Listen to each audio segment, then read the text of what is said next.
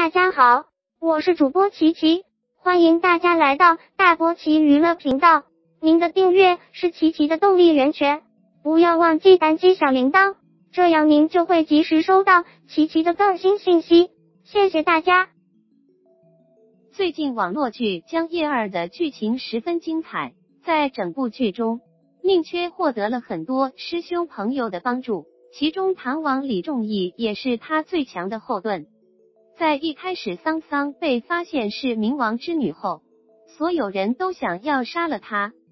但是唐王认为桑桑是唐国的子民，他作为帝王就应该保护桑桑，他宁愿与所有人为敌，都要保护子民的心令人敬佩。这也证明夫子的眼光没有错。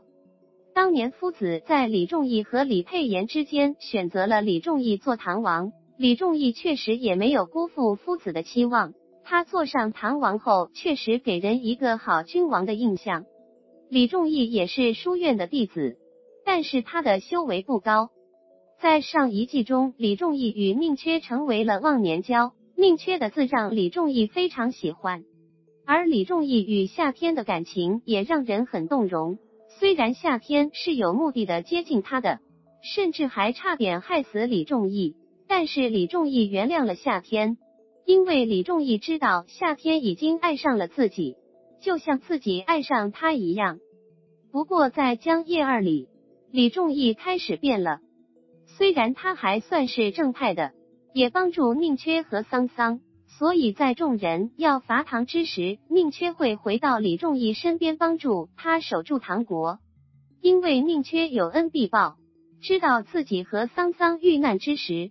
李仲义帮了很多忙，可在原著中，李仲义最后的结局不太好。他不知道从哪里听说的，说吃了夫子的肉就能长生不老。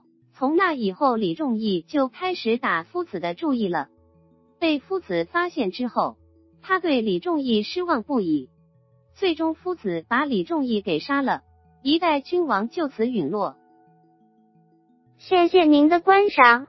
如果您喜欢琪琪的大波奇娱乐频道，请您订阅吧，不要忘了单击小铃铛哟，这样您就可以及时收到大波奇娱乐的更新了。一定要记住订阅琪琪哟。